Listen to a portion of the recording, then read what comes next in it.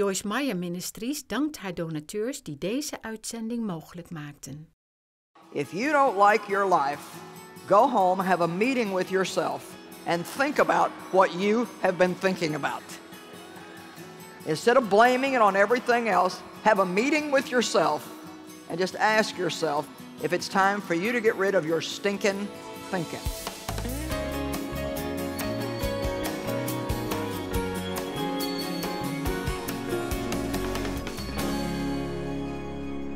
You know, it's one thing to have something by faith, it's another thing to have it in your experience. It's one thing to have it legally, as I call it. There are many blessings that are ours legally because Christ has died, His blood has been shed, He has sealed the new covenant in His blood, and as a born again believer, we are joint heirs with Him and we have an inheritance. It's ours legally? It's ours. But it's the possessing of it that sometimes becomes an issue for people. The Israelites came out of bondage in Egypt. They were slaves in Egypt. It's equivalent to being a slave to sin. God sent them a deliverer, Moses. He has sent us a deliverer, Jesus Christ. And we have come out of slavery to sin. They came out of slavery to Pharaoh and they headed for a place called the Promised Land. We come out of the bondage to sin and we hear all about the promises of God and we start learning how to appropriate them in our life. Well, the Israelites had to go through a place that the Bible calls the wilderness. It was an 11 day journey as the crow flies straight across that wilderness. However, it took them 40 long, miserable, painful years before some of them ever finally entered. Most of them did not, by the way. Of the several million people that came out, or about a million and a half, I think, with children, very few entered the promised land.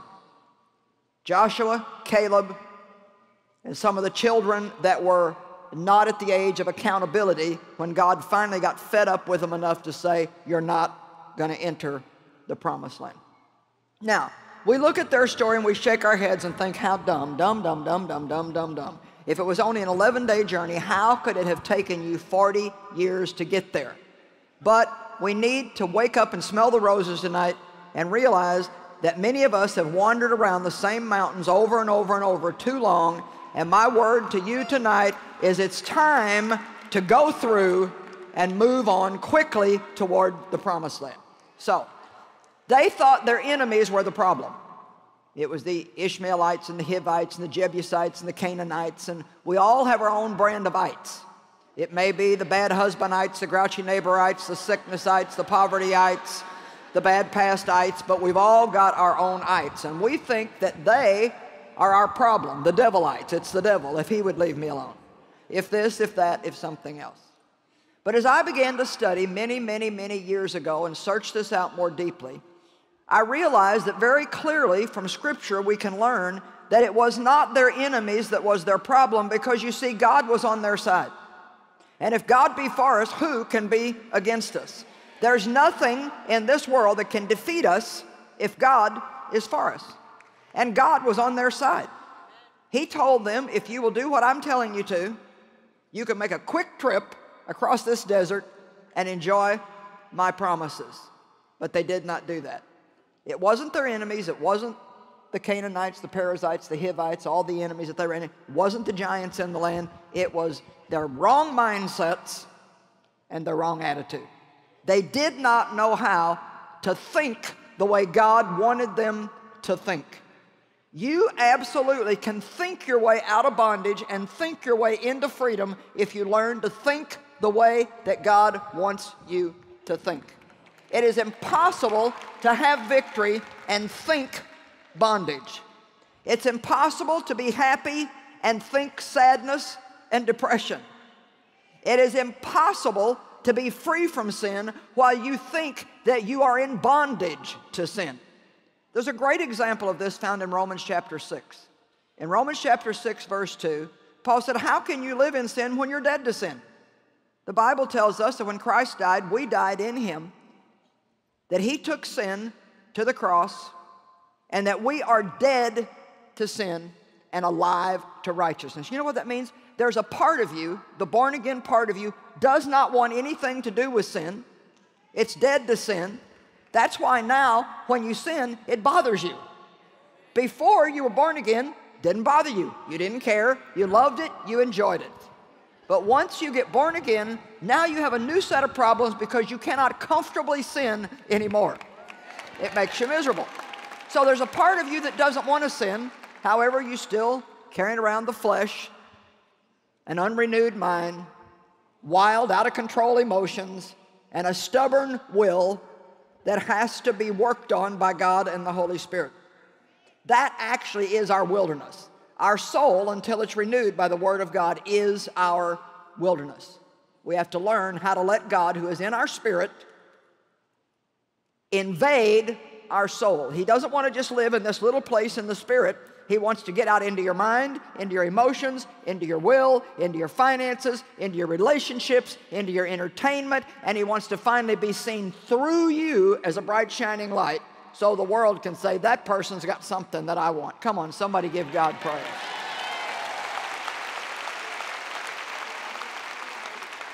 So Romans 6 2 says we're dead to sin, but then Romans 6 11 says, even so now consider yourself dead from sin and alive to righteousness.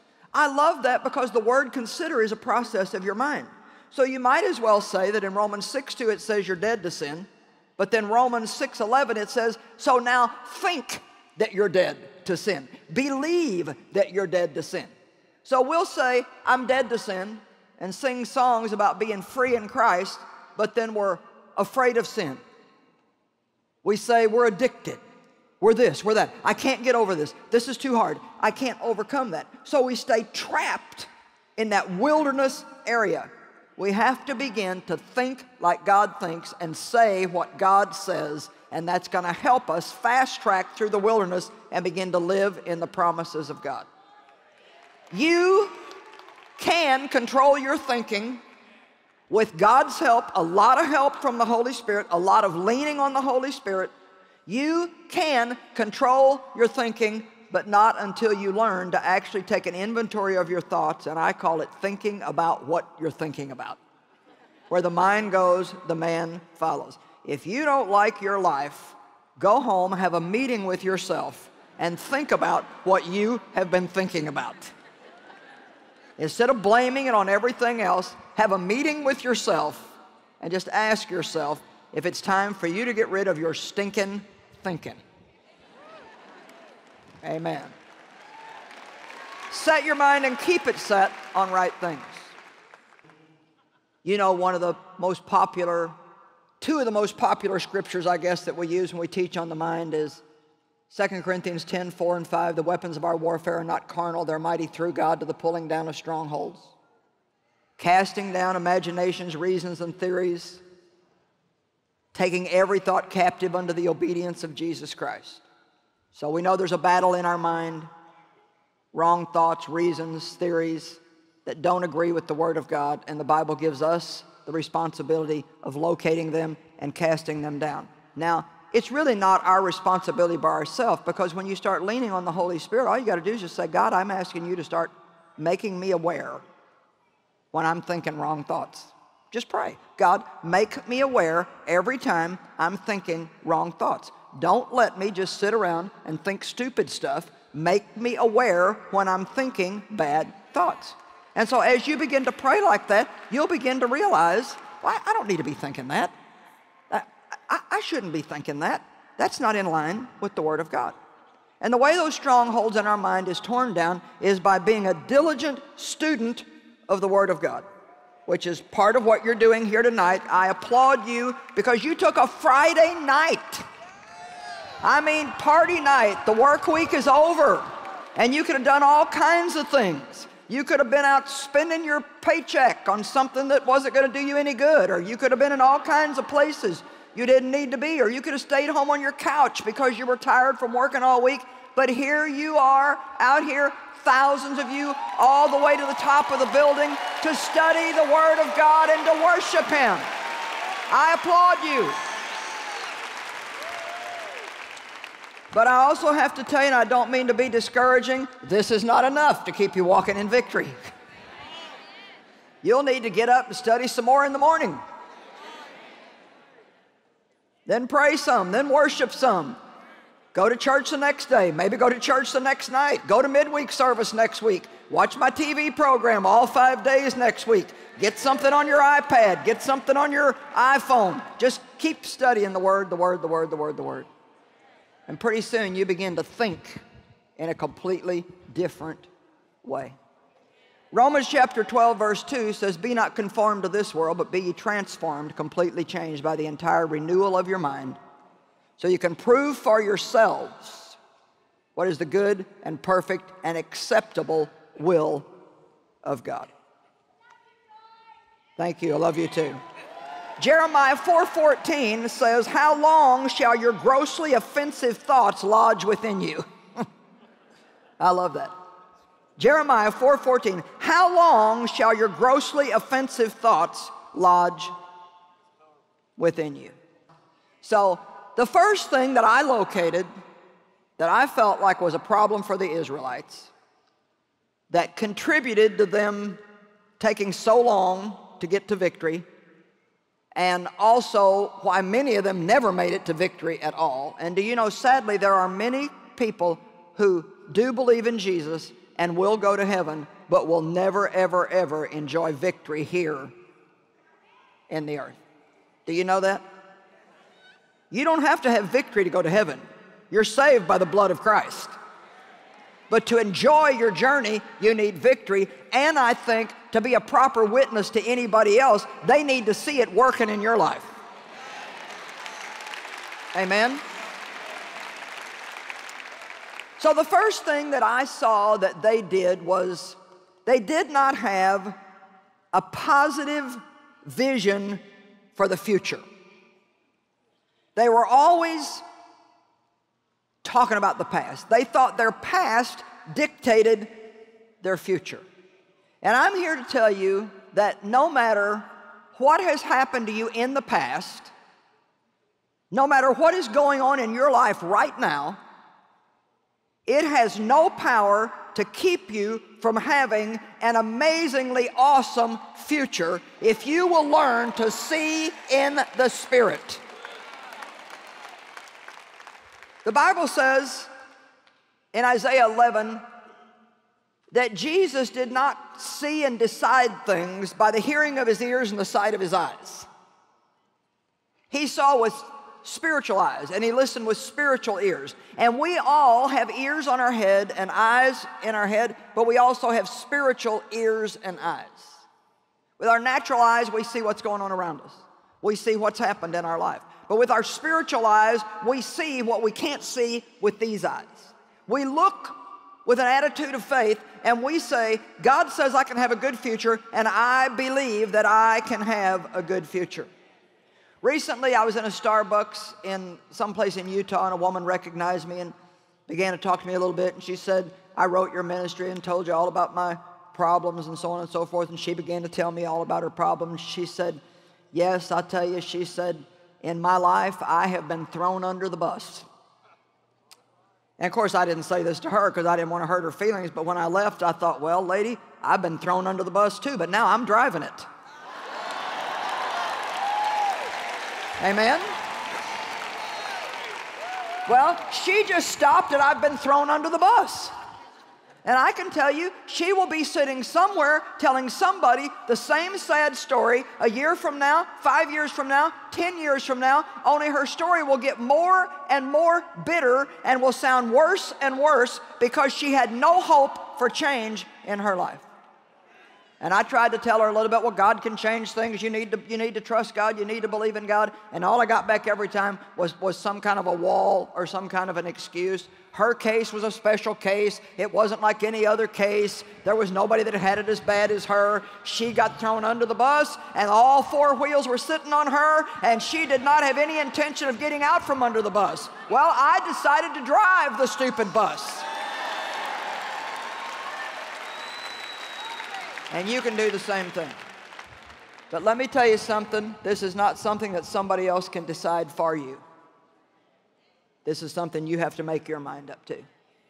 I'd like us to look as an example at Genesis chapter 13.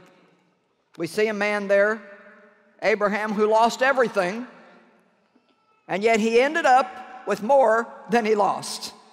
Do you know that in God's economy, you can lose every single thing that you have? And if you learn to see with the eye of faith, you can end up with more than you gave up.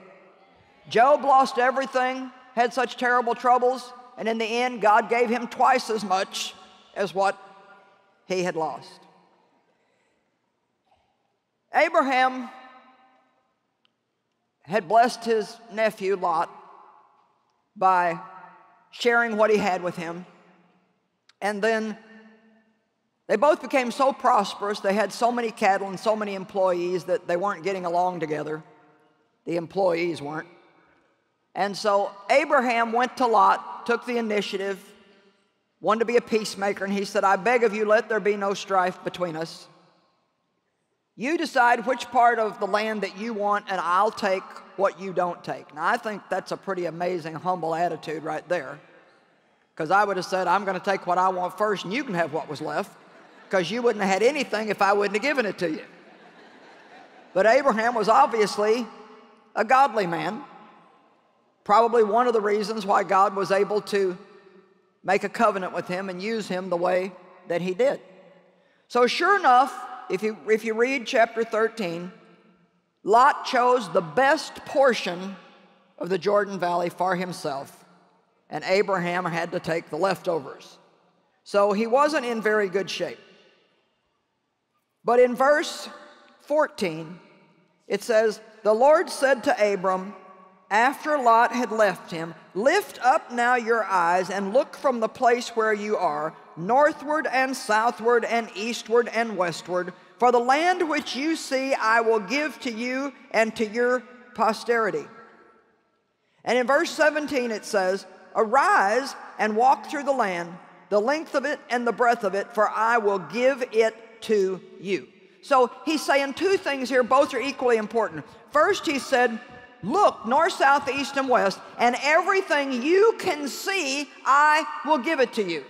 Now, he was obviously telling him to look with his natural eyes, but I believe that God wants to say to you tonight look into the future and what do you see by faith for your life?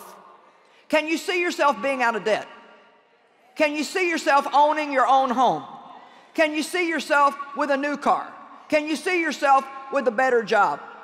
Can you see yourself being a blessing to many, many, many people? Can you see yourself having, can you see yourself living your dream, whatever that dream might be? As long as it's God's dream too, you can live that dream. Can you see it? If you cannot see it, you will never have it. Then he said to him, And whatever you see, I will give it to you. Now you go and walk it out you go take it. That means you got to take some action. I had a dream, a God given dream to preach the gospel. It was something God birthed in my heart the first time that I heard a teaching cassette tape back in 1976. I just was so amazed that somebody could take one scripture out of the book of Mark and preach for almost a whole hour on it and keep your attention. And just this burning desire came in me to preach the gospel all over the world, which was very stupid considering where I was at at the time, so it had to be God. I mean, I was not, let's just say I was your least likely candidate to be doing that. So God will put things in your heart that do not make any sense to your mind. That's why you cannot live out of your unrenewed mind. You have to live in the mind of the Spirit. God will show you things that are possibilities for you, but you, when you read the word, you have to take it that it's for you. Not just that it's for this special group of some special people, but every promise in the word is for you. They're all for you. God wants to bless you. God wants to promote you. God wants to raise you up. God wants to use you. God wants to heal you. Amen. But you have to see that And you can't wait to see it with these eyes before you believe it. You have to see it with your spiritual eyes, and then eventually you'll see it with these eyes. I live in Missouri, which is called the Show Me State. Well, in God's economy, you have to believe it first, see it with the eye of faith, and then eventually you'll see it in the spirit. But also, even though by faith I claimed what I believed that God had spoken to me and given me, I claimed the promises as mine, I still had to go in and possess that land. Now, the word possess is an interesting word because if you study it, it means to dispossess the current occupants and then take the land.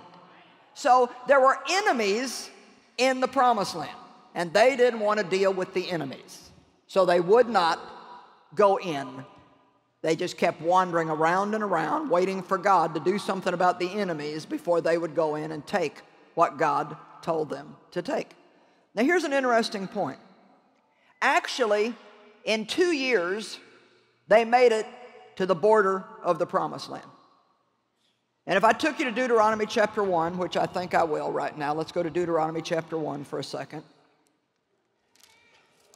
Deuteronomy chapter 1, verse 20. And I said to you, You have come to the hill country of the Amorites, which the Lord your God gives us.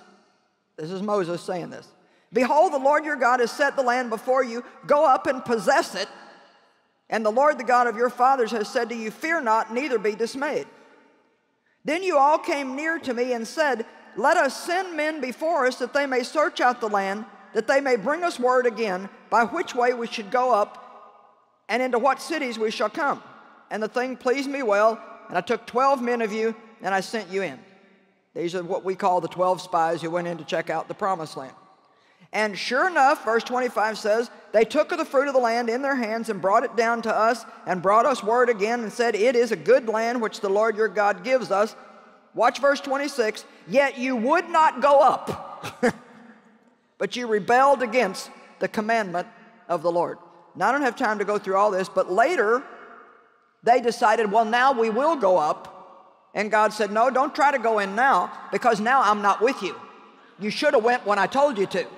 And so then they were on the border of the promised land when God told them, now's the time to go in and possess the land. They would not go in, they rebelled against the Lord, and they wandered around for another 38 years out in the wilderness, and many of them died out there. Now, I want to teach you a little lesson tonight.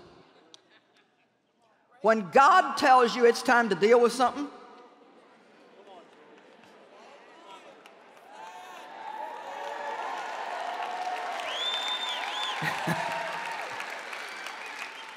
when God tells you it's time to deal with something, then there's an anointing on it to deal with it then.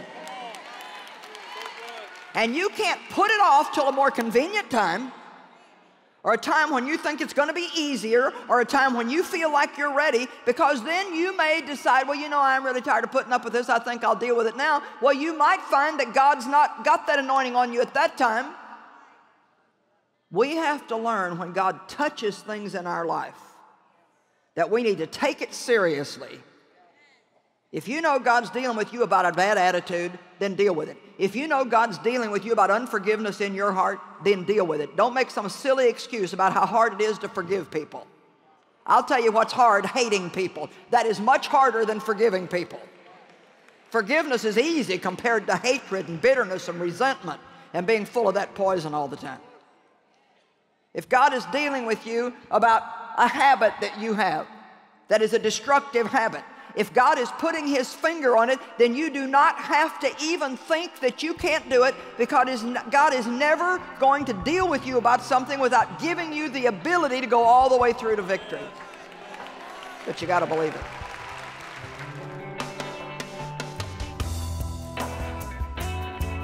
Well, I'd like to share something with you that came in by email. Carl writes in from Wisconsin and says, by the time I was in the ninth grade, I was running from life's difficulties. Kids picked on me at school because I was small. My grandpa had given me my first drink at the age of nine, so I quickly fell into addiction and landed in prison for seven months. Years later, I saw Joyce speak at a conference and have listened to her program ever since.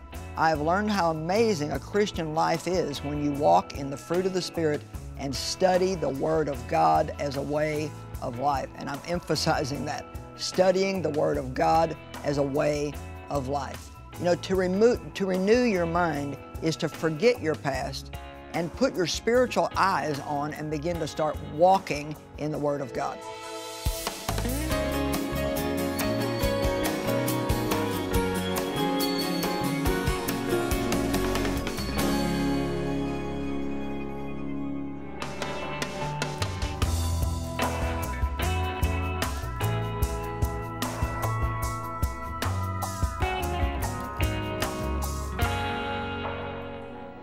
I'm here in Sri Lanka, and with me are some medical professionals that have volunteered their time to come here and help hurting people. And if you're a medical professional, a doctor, a dentist, a nurse, pharmacist, a chiropractor, please consider volunteering to come and help people who otherwise wouldn't have any help.